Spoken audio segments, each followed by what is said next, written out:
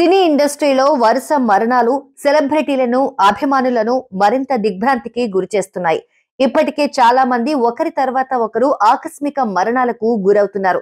మరికొంతమంది అవయవాలు పనిచేయక మరణిస్తే మరికొంతమంది ఇతర అనారోగ్య కారణాల వల్ల మరణిస్తున్నారు.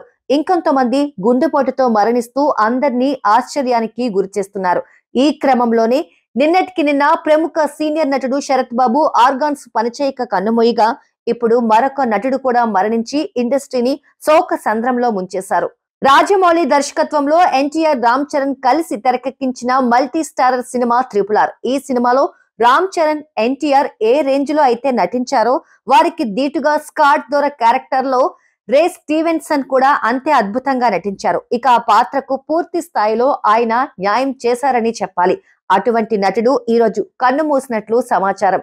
ఈ సినిమాలో బ్రిటిష్ ఎంపరర్ స్కాట్గా ప్రధాన పాత్ర పోషించిన రే స్టీవెన్సన్ యాభై ఎనిమిదేళ్ళ వయసులో తుది శ్వాస విడిచారు. అయితే ఆయన మరణానికి గల కారణాలు ఇంకా తెలియరాలేదు. ఇక ఈ ఐరిష్ నటుడు తన కెరీర్లోనే అనేక బహుముఖ పాత్రలు పోషించి ప్రేక్షకులను మెప్పించారు. ఎనిమిదేళ్ళ వయసులోనే తన కుటుంబంతో కలిసి ఇంగ్లాండ్కు వెళ్ళిన ఆయన ఇరవై ఐదు సంవత్సరాల వయసులో తన నటనా వృత్తిని కొనసాగించడానికి ముందు లండన్లోని ఒక ఆర్కిటెక్చర్ సంస్థలో ఇంటీరియర్ డిజైనర్గా పనిచేశారు. ఆ తర్వాత బ్రిస్టల్ ఓల్డ్ విక్ థియేటర్ స్కూల్లో చేరి ఇరవై తొమ్మిది సంవత్సరాల వయసులో పట్టభద్రుడయ్యాడు.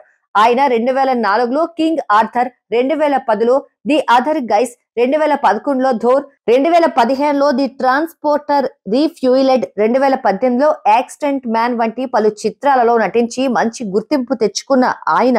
ఇలా ఆకస్మిక మృతి చెందడంతో సినీ ఇండస్ట్రీలో విషాద ఛాయలు అలుముకున్నాయి.